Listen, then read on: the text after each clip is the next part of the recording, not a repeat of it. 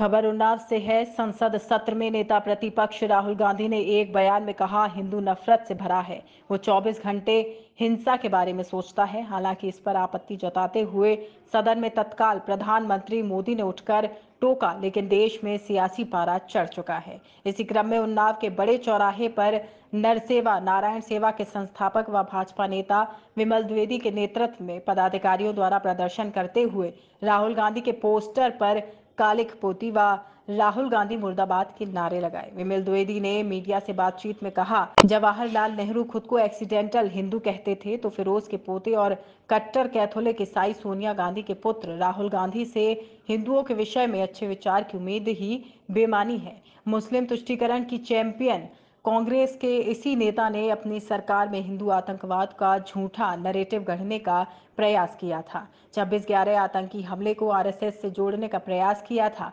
अगर कसाब ज़िंदा ना पकड़ा गया होता तो शायद हिंदू समाज पर ये आरोप लगा ही चुके थे।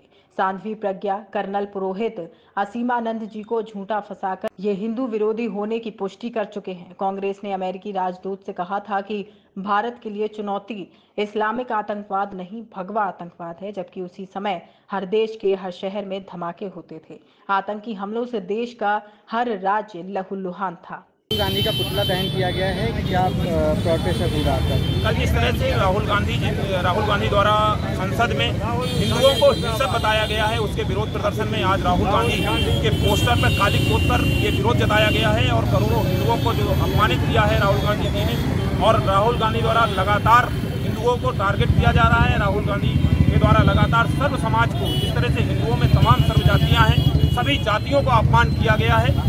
इसके लिए हम सब राहुल गांधी की सदस्यता समाप्त करने की मांग करते हैं और राहुल गांधी को मैं आम समाज, आम जनमानस से भी अपील करता हूँ कि राहुल गांधी जी को राजनीतिक रूप से भी बहिष्कार किया जाना चाहिए क्योंकि सिर्फ़ राहुल गांधी सनातन और हिंदू समाज को ही अपमानित करने का काम करते हैं। अगर किसी और धर्म को किया होता तो शायद कुछ और दिख रहा होता।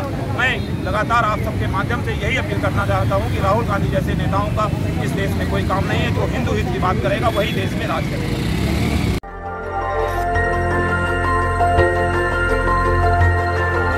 देखते रहिए डीवी भारती समाचार नज़र हर खबर पर।